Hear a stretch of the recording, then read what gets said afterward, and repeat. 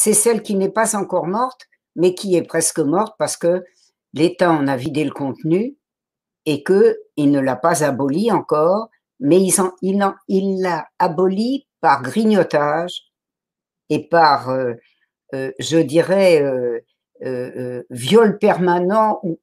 ou siège permanent. C'est le statut donc de la fonction publique qui s'est appelé statut Maurice Thorez, puisque le portait euh, le ministre d'État Maurice Thorez, qui était par ailleurs secrétaire général euh, du Parti communiste. Et donc, ce texte arrive devant euh, l'Assemblée dans une période, donc avant les, les, élections de novembre, du 10 novembre 1946,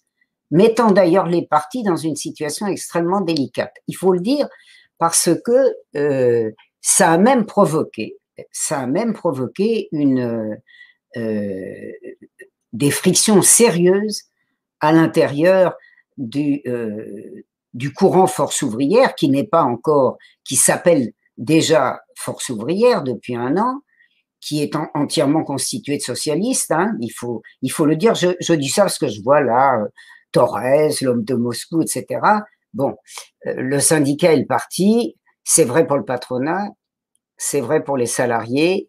c'est intimement lié, que ce soit avoué ou pas avoué. Hein Et donc, euh, euh, le, courant Force ouvrière qui va devenir avec la scission de l'année suivante la CGT Force ouvrière, ce courant est un courant socialiste et qui est euh, vraiment ravagé par le statut de la fonction publique parce que euh, Neumeyer